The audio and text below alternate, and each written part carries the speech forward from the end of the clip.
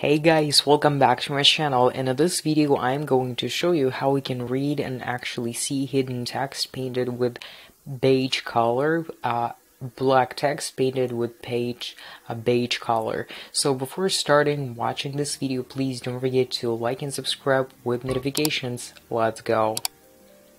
So now we're going to actually edit this photo in our, uh, I would say, default and usual application that I always use for this reason, uh, which is called Snapseed. This is actually a photo editor from Google, so you can just absolutely for free download it from Play Market, Play Store. Just go there and just type Snapseed, and you will see this photo editor from you from Google. So this is pretty famous editor, and we're going to uh, edit this photo right now. So choose your photo, then go into Tools, Tune Image. And here you just have to press on this icon and repeat just after me.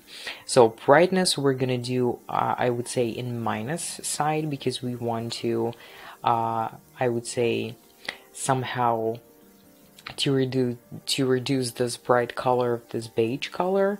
Uh, so next is going to be contrast. So contrast we're going into plus side because we want to highlight our black text on the background of this beige bright color actually. I think yeah around plus 30 okay.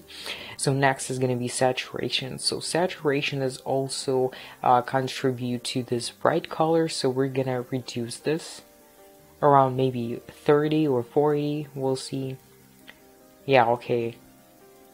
Uh, next is to be ambience. I think ambience we can choose even 100 plus 100 because we want to again highlight our black text.